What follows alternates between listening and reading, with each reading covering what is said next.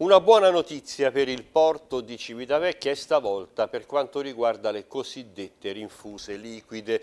Le infrastrutture logistiche delle società Sodeco e Petroli Investimenti, parte del gruppo Ludoil che da qualche anno opera a Civitavecchia nel grande deposito di via Aurelia Nord, subito dopo il cimitero, hanno permesso lo scarico di una nave cisterna che trasportava un lotto di oltre 3.500 tonnellate di combustibile SAF prodotto dalla raffineria Eni di Taranto.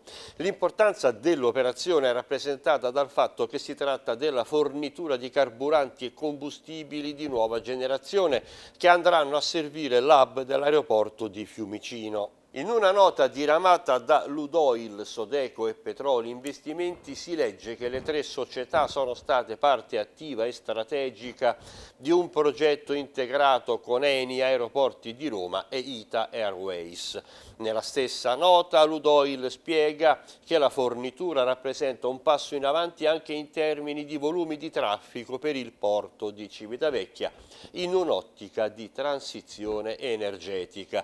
Nel dettaglio luglio le operazioni si sono svolte presso la torre petrolifera, operativa da oltre 20 anni nell'area di mare antistante la centrale di Torre Valdaliga Nord.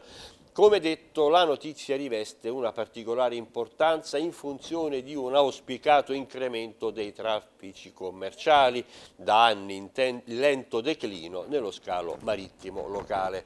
Il nuovo combustibile riservato agli aerei è attualmente prodotto nelle raffinerie di Taranto. La quota bio presente nelle circa 3.000 tonnellate che sono state dirottate all'aeroporto di Fiumicino consente un risparmio di anidride carbonica superiore a 50 tonnellate rispetto a un equivalente carico di prodotto di origine fossile. Entro l'anno sarà disponibile anche l'Eni Biojet, prodotto tramite distillazione di biocomponenti provenienti dalle bioraffinerie Eni, utilizzando esclusivamente materie prime di scarto come gli oli minerari esausti e i grassi animali.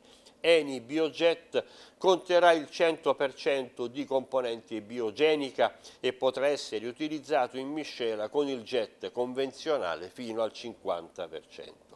Infine, dal 2024 a Gela verrà avviata la produzione di ulteriori 150.000 tonnellate anno di Eni Biojet in grado di soddisfare il potenziale obbligo di miscelazione del mercato italiano per il 2025.